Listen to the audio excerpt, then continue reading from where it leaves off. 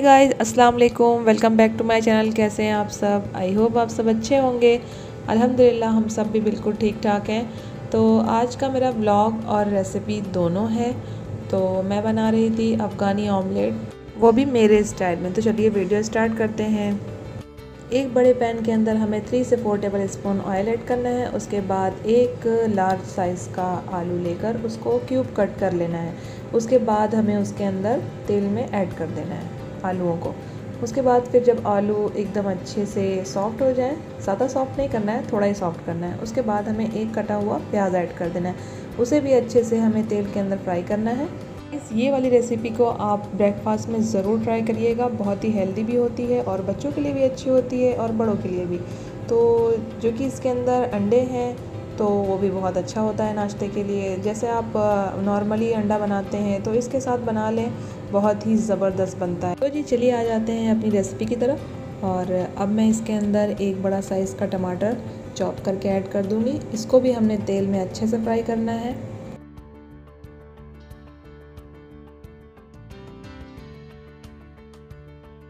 इसी के साथ हमने नमक भी ऐड कर देना है। अपने टेस्ट के हिसाब से ऐड करना है। और नमक हम इसके लिए ऐड कर देते हैं जल्दी। टमाटर के साथ ही ऐड करना होता है, क्योंकि ये होता है कि जब नमक ऐड करेंगे ना तो फिर वो अच्छे से नरम हो जाते हैं टमाटर। और मैं इसके अंदर अब pepper powder, black pepper powder add कर रही हूँ, हाफ़ टी स्पून तक। हाफ़ टी स्पून तक रेड चिली पाउडर और फिर उसके बाद अच्छे से मिक्स कर लेंगे।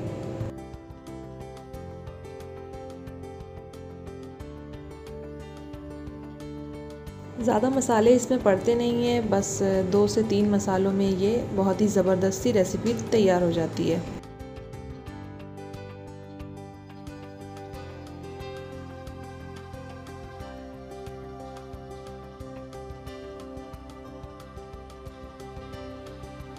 इन सब चीज़ों को अच्छे से पकाने के बाद दो से तीन मिनट तक हमें इसे फ्राई करते रहना है और पकाना है अच्छे से। उसके बाद फिर हमें क्या करना है, ये जैसे मैंने ये गोल पूरा बना लिया है ना, एक प्लेट के जैसा शेप में तो इसे इस तरीके से बना दें। फिर उसके बाद देन हमें इसके ऊपर ना अंडे फोड़ कर डालने हैं। अंडे एकदम प्रॉपरली पड़ने चाहिए। मेरा दो अंडा एकदम बराबर इसके ऊपर हुआ है और जो तीसरा वाला है वो बह गया है। तो उसके लिए सॉरी वो जल्दी जल्दी में थी और बच्चों को भी चाहिए था, बस मैं रेसिपी मैंने कहा बन जाएगी फटाफट। आप लोगों से भी शेयर कर दूँगी। वैसे हर बार का क्या होता है ना कि जब भी मैं बनाती हूँ ना, एकदम परफेक्ट बनता है और एकदम परफेक्ट ये अंडे भी बराबर आते हैं। तो ऐसा हुआ कि मैं थोड़ा जल्दी में थी, इसलिए ऐसा हो गया। आप लोग एकदम अच्छे से अंडे को ऊपर से कोट कर दें, क्योंकि ये होता है ना कि अंडा जब ऊपर से कोट रहेगा तो देखने में भी बहुत ही अच्छा लगेगा और खाने में भी बहुत अच्छा होगा। तो अंडे डालने के बाद मैंने उसको ढककर दो मिनट तक रख दिया। उसके बाद मैं अब ब्लैक पेपर पाउडर उसके ऊपर दो पिंच कर रही हूँ और थोड़ा सा नमक भी उसके ऊपर, अपने टेस्ट के हिसाब से आप ऐड करें और देन फिर उसके ऊपर आप हरा धनिया ऐड करें, कटा हुआ और फिर उसके ऊपर आप हरी मिर्च ऐड कर दें।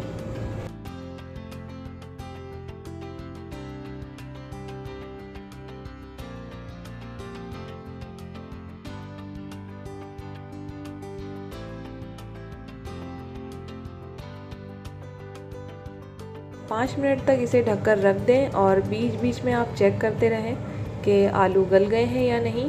तो मैंने छुरी से इसे थोड़ा सा दबा कर देखा तो आलू थोड़ा सा रह गया था। उसके बाद फिर मैंने उसे दो मिनट के लिए ढककर रख दिया। तो जी, अब यहाँ पर अंडे पक चुके हैं। देखिए, बिल्कुल भी छुरी के अंदर कुछ भी नहीं आ रहा है, अंडे की सर्दी। तो समझ लीजिए अंडे पक चुके हैं बहुत ही अच्छी तरीके से और आलू भी एकदम अच्छे से गल गए थे। इसे आप ऐसे ही खा सकते हैं, सर्व कर सकते हैं और रोटियों के साथ में, खबूस के साथ में, जिसके साथ चाहें आपकी मर्ज़ी हो आप सर्व करें। जुम्मा के बाद हम लोग निकल गए दमाम और मैंने वीडियो थोड़ा सा देर में शूट करना शुरू किया क्योंकि फिर टाइम नहीं हो पाता है। जब बाहर निकलते हैं ना तो बच्चे भी साथ होते हैं तो जल्दी वीडियो बनाने नहीं होता है। तो इसलिए मैंने थोड़ा मगरिब के बाद ही शुरू किया वीडियो बनाना और ये स्वेकत एरिया है, दमाम का, लेडीज़ मार्केट है। तो काफ़ी बड़ा है ये, यहाँ पर मैंने बहुत पहले मैंने यहाँ से वॉश ली थी, जो बहुत ही अच्छी है, आज तक चल रही है। तो सारी मार्केट में हर तरह के सामान होते ही हैं, लेकिन ये वाली जो मार्केट है, ये लेडीज़ मार्केट के नाम से ही फ़ेमस है। और ये है रामेज़, यहाँ पर भी बहुत सी ऐसी चीज़ें होती हैं, जो अच्छे प्राइस में मिल जाती हैं। तो यहाँ पर भी काफ़ी डिफरेंट डिफरेंट चीज़ें यहाँ पर अवेलेबल हैं। आप जा सकते हैं यहाँ पर शॉपिंग करने।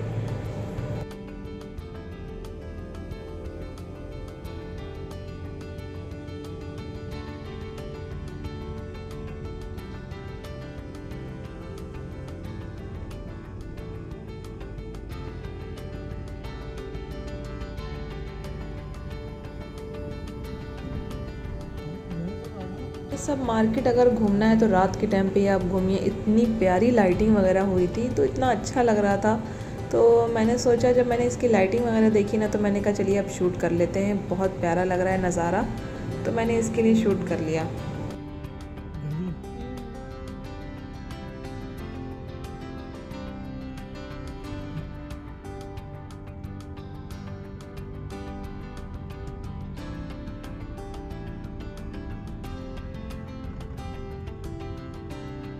और जैसे फ़ायरियाल अमेज़ोन है और भी मैंने फ़ायरियाल की शायद वीडियो अपलोड की है तो उसी तरीके से ये भी एक फ़ायरियाल की शॉप है ग्रेट एरिया यहाँ पर भी आप ज़रूर विज़िट करें।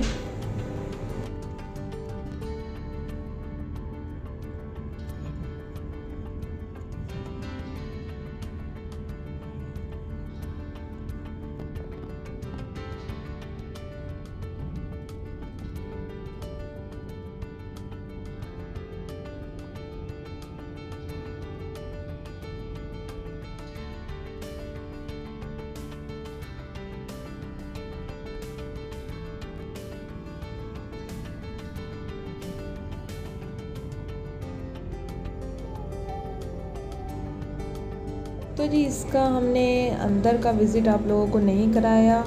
आप लोगों को अगर इसकी अंदर की वीडियो चाहिए, यहाँ स्वैकत एरिया की तो आप ज़रूर मुझे कमेंट करें। तो इन नेक्स्ट टाइम अंदर भी मैं स्वैकत में जाऊँगी और आप लोगों से शेयर करूँगी इसकी वीडियो हमें कहीं और जाना था, इसलिए हमने इसकी वीडियो अंदर की शूट नहीं की। और ये काफ़ी बड़े एरिए में था, लगभग एक नंबर गेट से लेकर चालीस नंबर गेट तक था। और हम इसके गोल गोल एरिए में पूरा घूम ही रहे थे। बस वीडियो बनाना था हमने तो पूरा गोल घूम रहे थे। वाकई बहुत प्यारा था।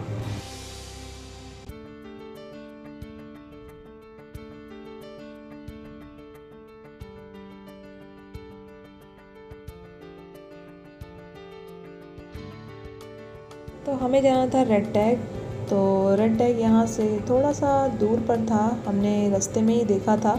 वहाँ पर हमें ना शूज़ देना था बच्चों के लिए लाइटिंग वाले। बहुत पहले मैंने आयत के लिए लिए थे, जो रेड टैग से ही लिया था। अब वो मिल नहीं रहे हैं तो हमने सोचा चलिए जहाँ पर भी रेड टैग दिख रहा है, वहाँ ट्राई करते हैं। तो इस वाले में हम लोग गए तो यहाँ पर जब हमने पूछा तो वहाँ पर ये था नहीं। ये देखिए, आयत को ये कितना फ़नी सा ये मिला। आयत इसके लिए बहुत परेशान थी।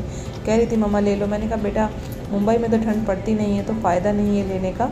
वैसे आपको चाहिए तो आप ले लो। लेकिन फिर आयत ने मना कर दिया, कहती है, मत लो, बस हम वीडियो बना लेंगे। तो देखिए, कितना प्यारा लग रहा है उसके ऊपर और कितना फ़नी है। मैंने जब देखा ना तो मुझे बहुत हँसी आई। और वहीं रेड टेक के पास ही ये कुछ बच्चों का एरिया था खेलने का और कुछ उसमें गेम्स वगैरह भी थे तो हम लोग वहाँ पर गए आयत को लेकर अन्नू को लेकर। आयत तो मेरी बहुत खुश हुई उसको बहुत ही मज़े आए।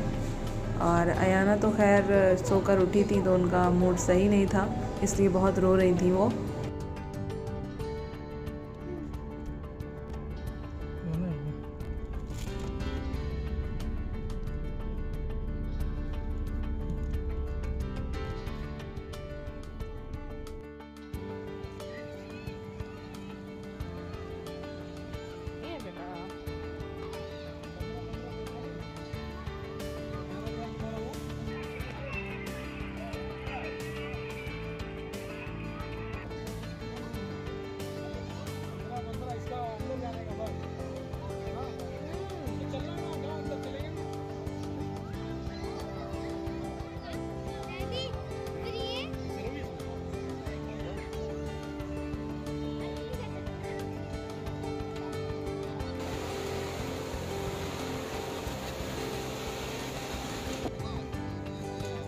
आयत इसमें फ़र्स्ट टाइम गई थी ये बॉल वाले में तो इसमें जब वो गई है ना तो बैलेंस बराबर कर नहीं पा रही थी और अयाना उसको देखकर इतना खुश हो रही थी, इतना हंस रही थी, माशाल्लाह माशाल्लाह। वो जैसे ही आयत उसके अंदर गई है ना, बस गिरना चालू जब हुई है अयाना की हँसी रुकी नहीं रही थी।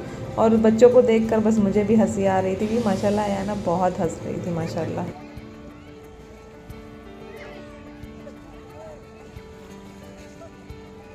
फिर धीरे धीरे करके आयत ने बैलेंस बनाना शुरू कर दिया और देखिए कितना अच्छा आयत उसमें प्ले कर रही हैं।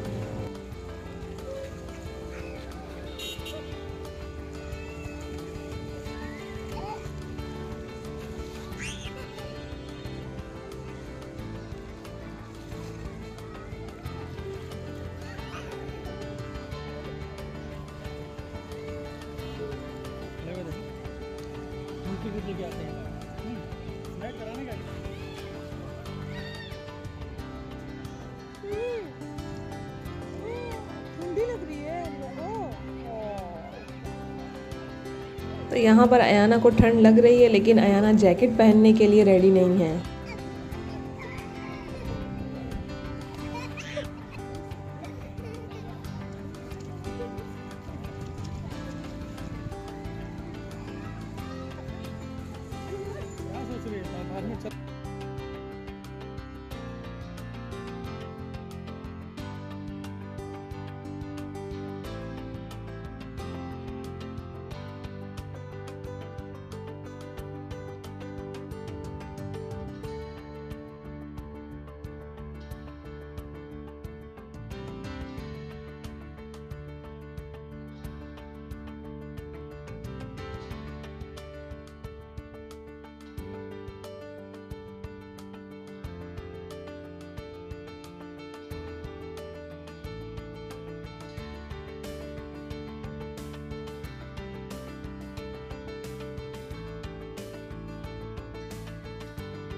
फिर हम गए स्लाइड की तरफ़ और यहाँ पर ना बच्चों को हाथ पर स्टैम्प देते हैं एक घंटे के लिए कि बच्चे बस एक घंटे के लिए यहाँ पर इंजॉय कर सकते हैं स्लाइड कर सकते हैं।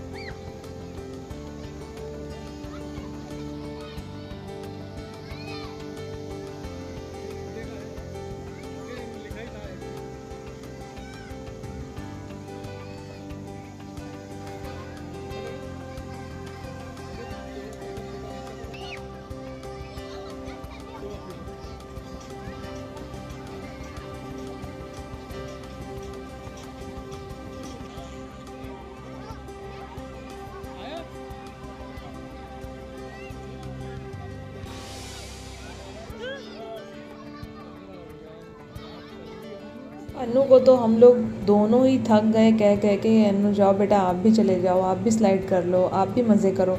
लेकिन अन्नू तो ज़िद की वजह से वो कुछ भी नहीं सुन रही थी।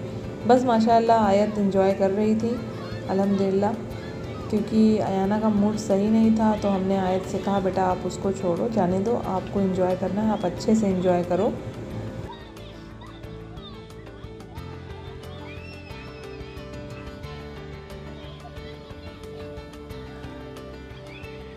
और वहाँ पर स्लाइड करते करते एक आयत की फ्रेंड बन गई। देखिए आयत और वो दोनों आपस में बात कर रहे हैं। तो बस दोनों की फ्रेंडशिप हो गई वहीं पर ही। दोनों की लैंग्वेज अलग थी, लेकिन तभी भी माशाल्लाह आयत और वो दोनों आपस में बात कर रहे थे। इशारों में बात कर रहे थे और इंग्लिश में बात कर रहे थे। तो बस समझ आ गई थी दोनों को एक दूसरे की, माशाल्लाह।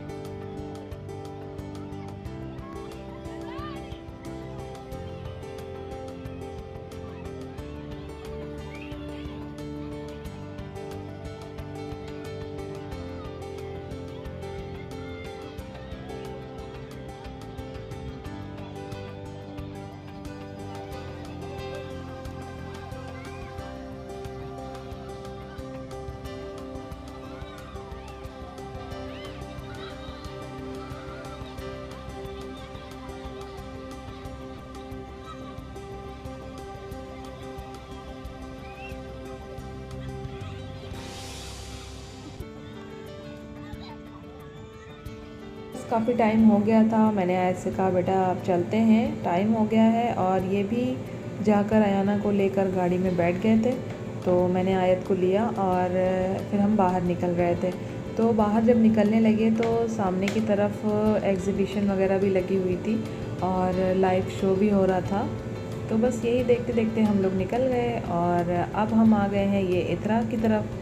और माशाल्लाह, ये रात के टाइम पे बहुत ही प्यारा लगता है। देखिए, पूरी लाइटिंग वगैरह हो रही है उसके ऊपर प्रोजेक्टर टाइप की। और अब बस हम जा रहे हैं जी घर पर। अगर मेरी वीडियो आप लोगों को पसंद आई है तो प्लीज़ लाइक सब्सक्राइब शेयर ज़रूर करें अपनी फैमिली फ्रेंड में।